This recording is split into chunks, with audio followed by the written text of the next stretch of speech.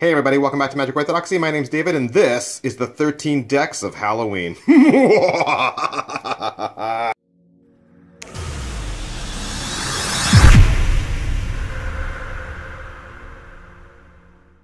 That's right, we're gonna do 13 days, 13 deck reviews of the spookiest decks in my collection.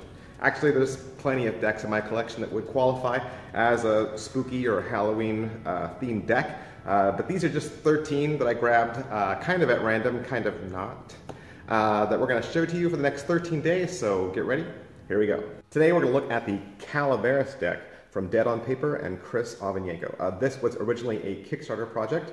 Uh, it was Chris's tribute to uh, both the Day of the Dead, which is the Mexican holiday um, Day of the Dead, and the uh, artist Jose Posada. Uh, this deck was printed from the United States Playing Card Company, and the reason why we're including it in this 13 decks of Halloween is pretty obvious. It's skulls, it's Day of the Dead, it's spooky, it's eerie. Uh, the back design is a cluster of skulls. Every single card has been touched and redrawn. Uh, they're all original. The court cards are all skull-like. You got a really cool double backer for magic tricks, and it just makes for a really cool, haunting addition to your uh, Halloween and spooky themed decks. So that is it for this short review of the Calaveras deck. If you'd like to learn more or see more, you can click the link below in the description and we'll include our original review of this deck. All right, so that is it for this deck review of Calaveras. Tune back tomorrow and we will look at the Requiem deck from Lorenzo Gaggiotti.